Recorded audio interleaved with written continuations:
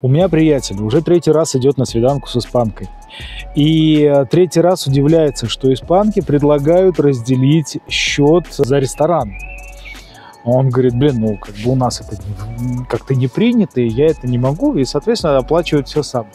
С другой стороны, а, знакомая приехала сюда, в Испанию, для того, чтобы найти себе а, мужа европейца, мужа испанца. В итоге целенаправленно она шла, искала, искала, искала. В итоге нашла испанца, черноволосого, красивого, накачанного, все хорошо.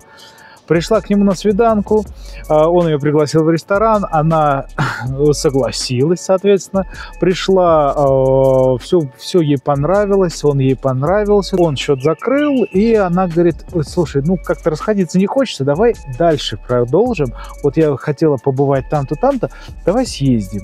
Он говорит, ну, хочешь, давай съездим, не вопрос. Они поехали, а, проходит вечер, и когда приносит счет, он предлагает ей этот счет оплатить.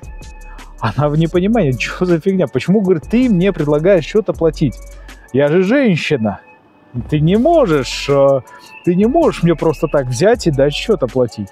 А он говорит, а, что, ну, как бы, в ресторан в первый я тебя позвал, и, соответственно, я оплатил счет.